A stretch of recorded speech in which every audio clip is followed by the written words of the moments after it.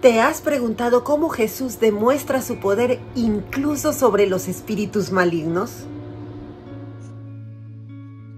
Hoy descubriremos el impactante encuentro de Jesús con un hombre poseído en la sinagoga de Cafarnaúm, donde su autoridad divina deja a todos asombrados.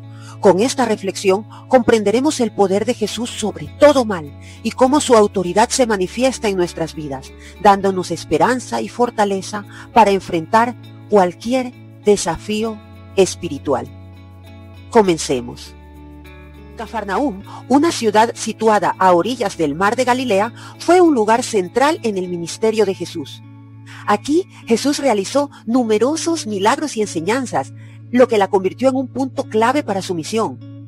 Cafarnaum era conocida por su sinagoga, donde Jesús enseñaba con frecuencia y donde ocurrió el evento que relata el Evangelio de hoy. La importancia de esta ciudad radica en que fue testigo de la manifestación del poder y la autoridad de Jesús, tanto en sus palabras como en sus obras. Cuando Jesús enseñaba en la sinagoga de Cafarnaum, sus palabras tenían un peso y una claridad que sorprendían a todos los presentes.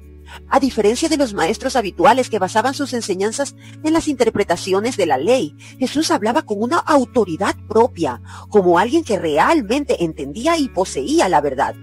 Su mensaje no solo informaba, su mensaje era transformador, tocando el corazón de quienes lo escuchaban y revelando la profundidad del reino de Dios. En medio de su enseñanza, un hombre poseído por un espíritu maligno irrumpió en la sinagoga. El espíritu, al reconocer a Jesús, gritó con miedo y desesperación, ¿qué quieres con nosotros, Jesús de Nazaret? ¿Has venido a destruirnos? Sé quién eres, el santo de Dios. La presencia de Jesús puso al descubierto la naturaleza maligna del espíritu que temblaba ante su autoridad. Con una simple orden, Jesús lo reprendió diciendo, cállate y sal de él. Al instante, el espíritu salió del hombre, dejando a todos asombrados por el poder y la autoridad de Jesús sobre las fuerzas del mal. La autoridad de Jesús se manifiesta de manera contundente cuando reprende al espíritu maligno en la sinagoga.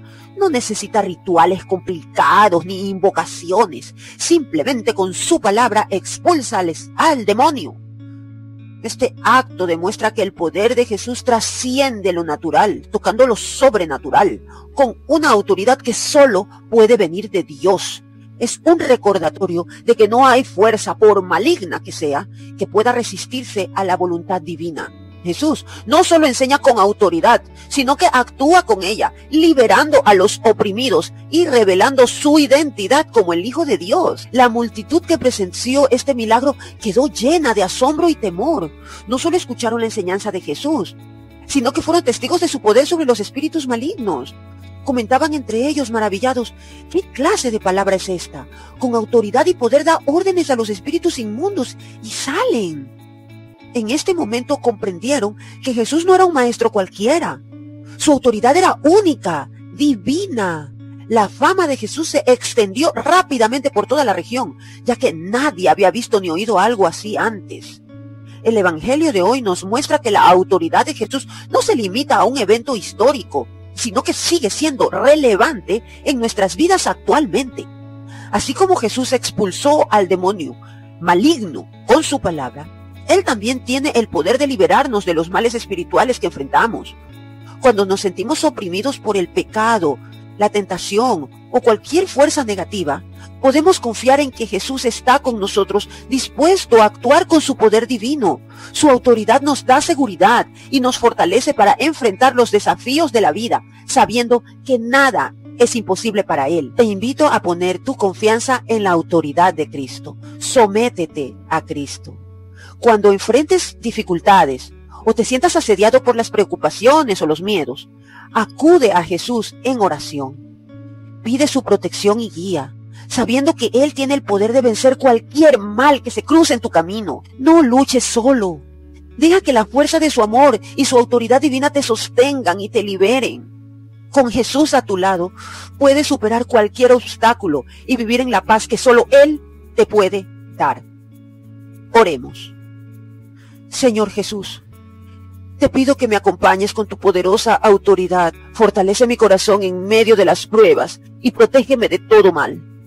que tu presencia me envuelva, guiando cada uno de mis pasos, y que tu palabra sea mi refugio en momentos de incertidumbre. Confío en tu poder sobre todas las cosas y en tu amor que nunca falla. Permíteme vivir bajo tu cuidado y dirección, sabiendo que en ti encuentro paz y seguridad. Amén.